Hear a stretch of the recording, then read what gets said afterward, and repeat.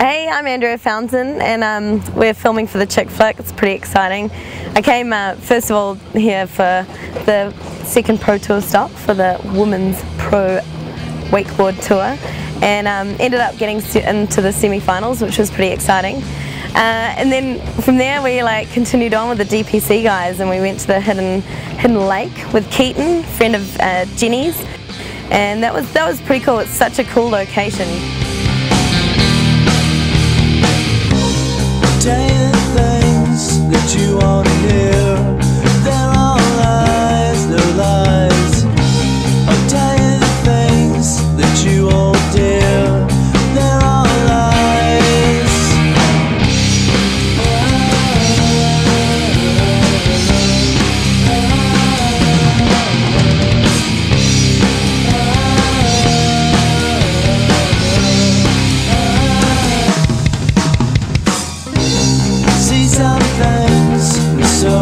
square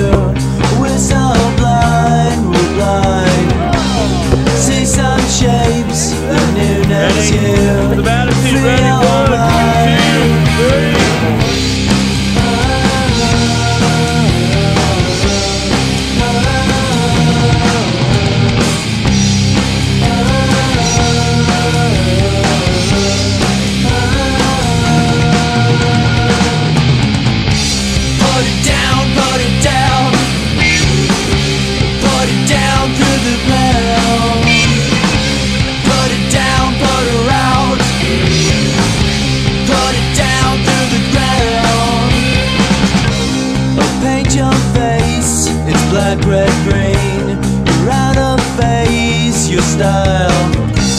And so you think, but don't ask